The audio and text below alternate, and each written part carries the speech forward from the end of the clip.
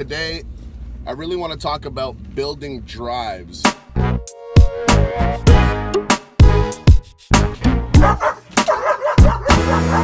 Supply and demand. If I'm a millionaire and you want to give me a $100, I'll take it.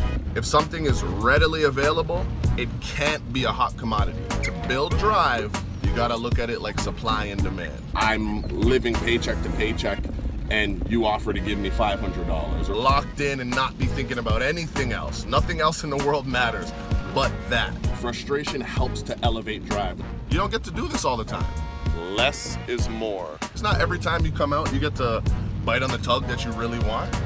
Less is more. No, no, no, no, no. For every 15 times you get to see that in front of you, maybe you get that hot commodity one time. Less is more. Don't ever let your dog become complacent.